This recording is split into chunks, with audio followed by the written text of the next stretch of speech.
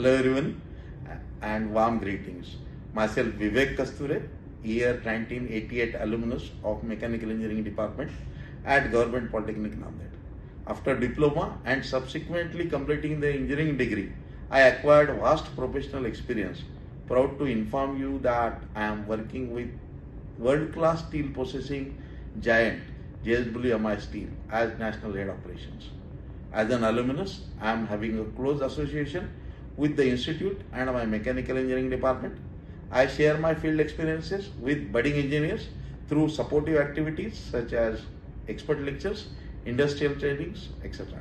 During pandemic, we arranged a structured online six-week industrial trainings for mechanical engineering students. The progress made by the department through these three decades and its effort to give exposure to students about recent industrial trends is a matter of great satisfaction for me. During my visit in year 2023 to the department, I noticed the significant changes in the department labs, institute library and amenities to teaching staff whose dedication is noteworthy. I extend my best wishes to the students and teachers of Government Polytechnic Nanded and to all constituents of Mechanical Engineering Department. Thank you.